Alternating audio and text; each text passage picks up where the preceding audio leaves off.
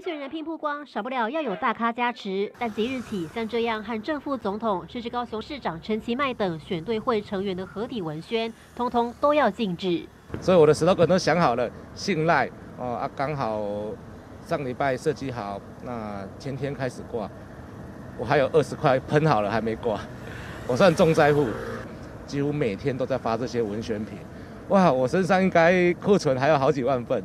真的成了重灾户，从扇子、名片到口罩、瓶装水等各种文宣小物，都能看见市长身影。如今通通发不出去，民进党中央一声令下，参选新人紧急应变，更改宣传策略，在市场在各方面的去曝光。所以，也市长这边的话，我们不能在一起放的话，当然是多少会有影响。但是我觉得说，那个卡古拉的的基层啊，还是在市场在路口，让民众来看到我们。新秀拼曝光，这下得另谋出路，而老将也难免受到波及。议员林志宏还有五千多把扇子，一箱箱满满满，都只能暂时封在办公室。已经发了五千支，现在剩下五千支，要继续来发放，到底能不能继续发放？我们还在继续呃寻求党中央的支持当中。毕竟选举资源非常有限，我们希望党中央可以网开一面。当中央的用心良苦，参选人都愿意配合，但毕竟选举资源有限，印好的文宣破不了光，多少让参选人感到无奈。哦，这个民进党昨天中常会这样子禁令一出哦，玉慧姐，我们看到啦，这个蔡英文总统也是用心良苦，哎，不过底下要选举的人，很多人说啊，这个文宣品啊、扇子啦、看板，围弄印鹤嘛、喷鹤啊，呢，哇，这个到底该怎么办？昨天真的是一片哀鸿遍野啊。不过我在这边其实也祝福所有的这些拟参选。人呢？如果能够通过初选的话，这些都可以用啊，在大学的用，初选过后再用。对，那就如同刚才这个有一位拟参选人他所说的。呃，我想这个不是选举小物啦，当然选举小物绝对是有帮忙，那可以让选民更加的这个记忆。那呃，但是呢，这个其实我觉得还是跟选民来介绍自己，比如说站路口啦，比如说还有其他的这个方式哦，呃，这个当然也是可以给你参选人来作为参考。不过我觉得呃，这个其实也反映出一种现象啦，嗯，因为呃，这次其实刚才世文有提到说啊，这个民进党的初选好像很激烈，而不是我们过去看过很多次的这个民进党的初选。哇，更激烈的各种层级，更激烈的刀刀见骨的更多哈。这次事实上，呃，我想大家大概都可以同意啊，是从屏东开始啊。那大家觉得，呃，在国家还在防疫的一个阶段，然后国国际上面又有这么重大的事情发生，所以呢，国内的这个选举啊，应该给民众比较安心。这是为什么？我想蔡英文总统会在昨天的这个呃，这个蔡英文主席啦，那他会在这个中常会当中，他会下达这样的一个命令。是呃，我觉得是从一个党，你可以看到一个国家，他不但是一个党的领导人，同时也是一个国家的领导人。我觉得这一点其实他是做得好的哈。那呃，当然，因为呃这一次呢，这个民进党的基层，特别是议员呢，老实讲，我觉得除了民进党以外，包括说国民党，甚至于说呃其他的党，这最近有两个真的是不知天高地厚，敢跟张雅琴这个前辈跟这个周玉蔻前辈来呛虾，还甚至于哦还可以侮辱这陈局的，这个也是，所以你就知道说啊，大家可以说新人辈出，大家都是头角峥嵘，大家都想要呃争破头。那我觉得在这个时间点是让大家看到说，你对于这块土地的用心，其实才是最重要的啊。不过你也换言之啊，你也可以想象，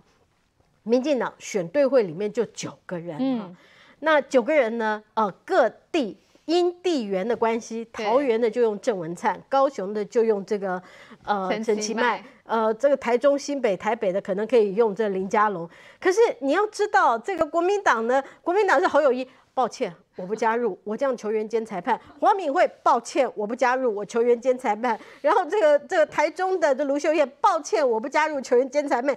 照干那杯嘞，所以你可以看到两个党在气势上面其实是差别很多的啊。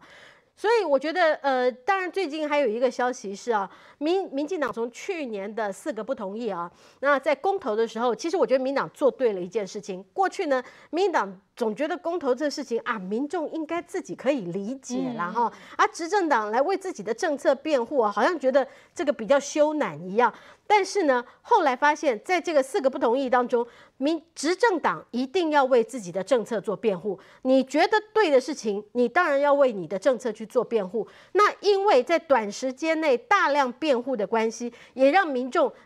完全一秒秒懂，可以了解到这个政策它这个目的跟对台湾未来这个影响。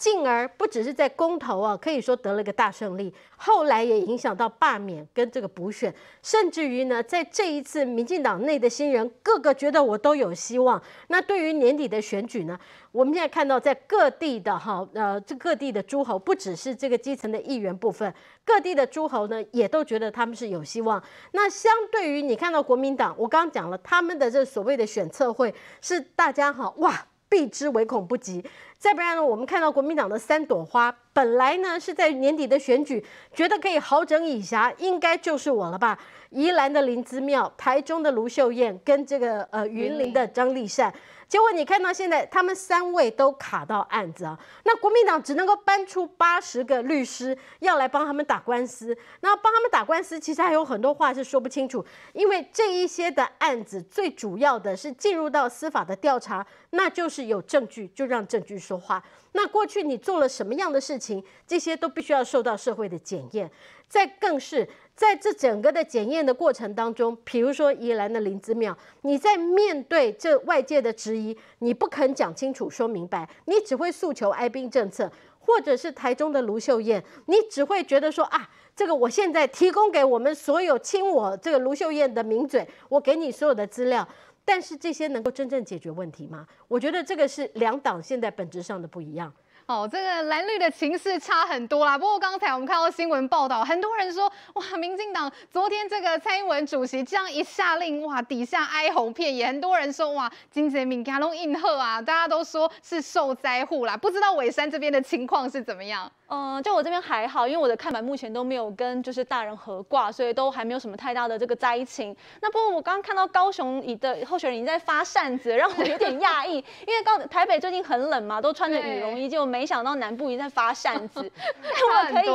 真的，但我相信他们应该是蛮痛苦的，因为一支扇子的成本也蛮贵的，大家都落在五块到十块之间，就看你的印制数是多少。不过我觉得也许可以发挥创意哦，比如说我把这个大人涂黑，上面写说猜猜我是谁。哦，哎，是某个春马是北拜，对，它也是有一个就是呃，可能引起大家联想的这样的一个效益存在。不过确实，就我也是觉得党中央其实可以有一点给我们存丢的空间啦，就是说，呃，确实有一些可能候选人已经印制了这个文宣屏或是看板，那老实说，这个都是所费是是是是不资的。那我们不少哎。对，我们都希望候选人或者是政治人物是清廉的，那大家都要想说，这一笔经费对他来说可能也非常重要，尤其是第一次参选的新人，我当过新人，真的每一笔钱都非常的重要，也很辛苦。那也许可以用用什么方式有一个弹性，那让大家不要说哦，这个文宣品。印制之后只能堆在仓库里面或丢掉，那我觉得也是很浪费资源。我希望党中央可以有一个弹性调整的空间。那不过对于现任而言，其实跟呃这些呃知名的政治人物合挂倒不是最绝对的，因为现任还是要以政绩，还有以我们的问政表现，甚至大家民众对于这我们这几年来的观感，可能才会是投下这一票最重要的原因。那其实把自己做好，好好的去呃面对人民，面对基层，那我觉得这个才是胜选的根本之道。那希望大家可以一起努力。那。民进党就是在初选会比较热。